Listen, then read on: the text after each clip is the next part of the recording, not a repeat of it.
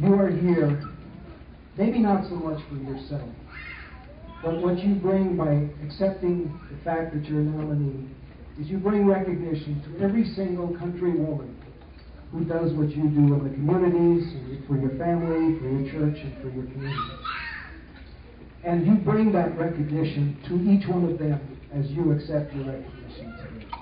I think our success is having all of you involved in production agriculture because it's your contribution. It's what you lend to society, to the community, to the family that has all served also very well. Thank you very much. You are all truly winners when we look at Country Women of the Year. Thank you. It is always an honor for me to recognize North Dakotans who excel, and to do this today in agriculture is no exception.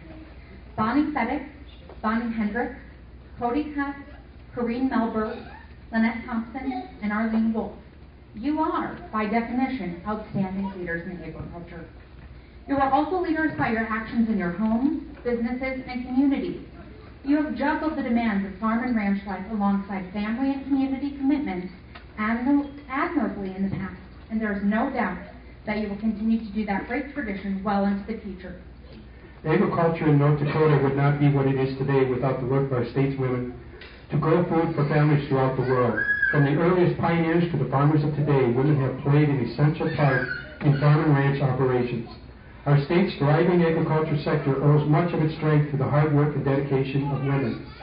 Today we have the chance to honor the women who put food on our tables. Farm and Ranch Guide has selected six outstanding women to contend to be the 2011 Country Woman of the Year. These women exemplify the exceptional qualities of North Dakota farmers and ranchers.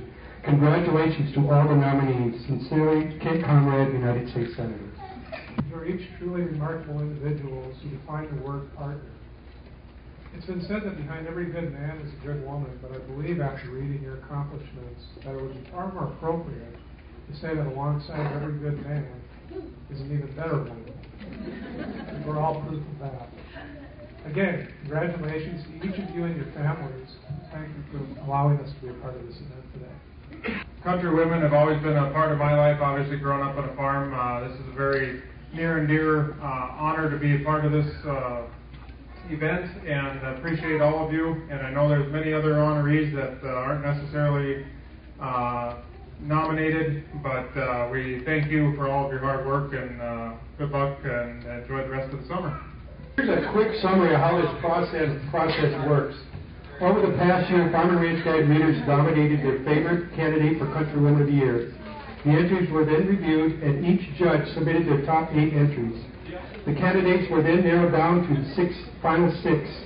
The quality of candidates was very high as usual. The judges then met and interviewed each finalist beginning yesterday afternoon and finished this morning. We now have their final choice. Congratulations to all the nominees that were submitted.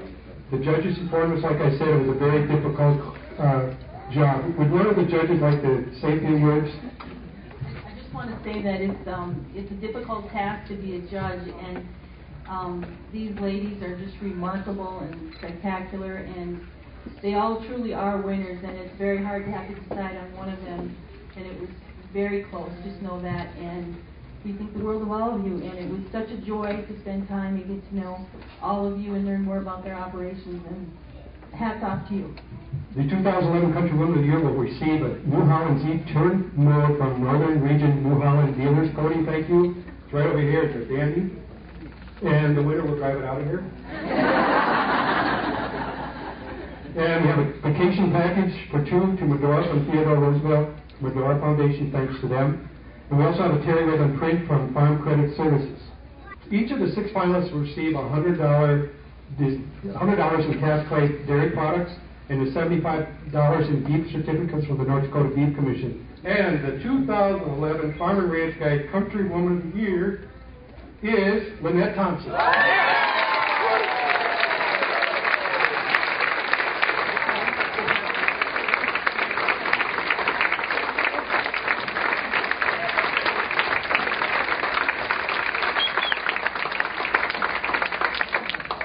It's great that they try to honor all the country out there. Thank all the sponsors and special thank you to my family, my husband who keeps encouraging me to hang in there. We can keep doing this, but I get discouraged sometimes. And and just all the local people that showed up for me today, and I just appreciate it all. By the way, I don't know if I should have a pink lawnmower because Kevin will probably never learn to mow the lawn.